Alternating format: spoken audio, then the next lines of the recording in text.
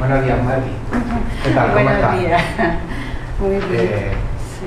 te quería hacer una serie de preguntas, ¿vale? Relacionadas con, con tu visita al Centro Guadalinfo y quería preguntarte a qué te dedicas.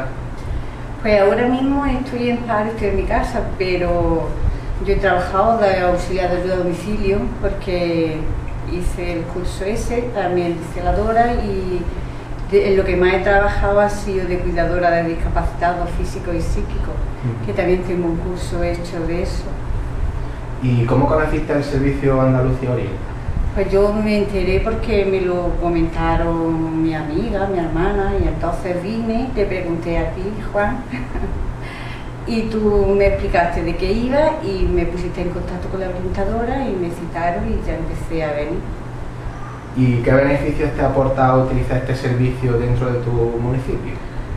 Pues que lo tengo muy cerca, no tengo que desplazarme, que me llaman y puedo venir a la hora que me viene a mí bien y a la orientadora que no me viene bien, pues con llamar y decir que no puedo. Y luego pues, pues no sé, la proximidad, lo cerca, ¿Y La facilidad.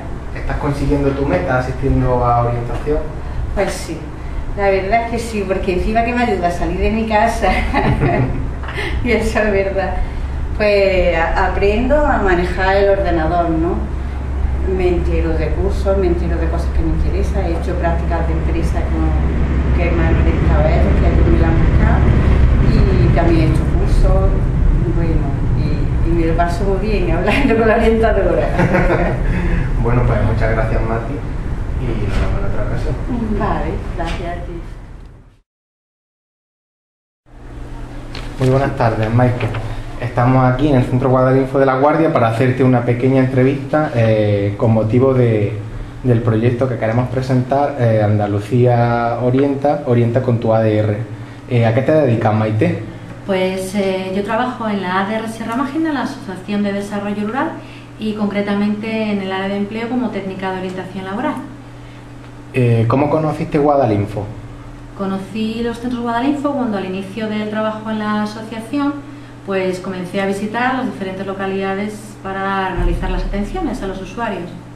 ¿Y qué Guadalinfo visitas por tu trabajo?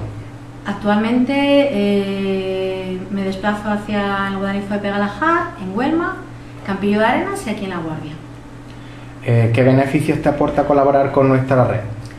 Pues eh, para mí lo que es un centro Guadalinfo me proporciona un espacio, una infraestructura para poder atender a mis usuarios de una forma muy cómoda, con un espacio bastante amplio para poder hacer sesiones grupales o individuales con mucha eh, personificando mucho lo que es las atenciones y además pues disponer de equipos informáticos para hacer cualquier tipo de acción a nivel de ordenadores y además también contar con los dinamizadores como tú pues para cualquier duda o cualquier cosa que pueda tener.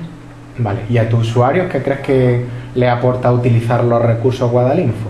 Sobre todo comodidad a nivel de que es un sitio que está muy cerca de su domicilio y luego también descubren y se dan cuenta de que el uso de los ordenadores a nivel informático les facilita mucho también el tema de la búsqueda de empleo.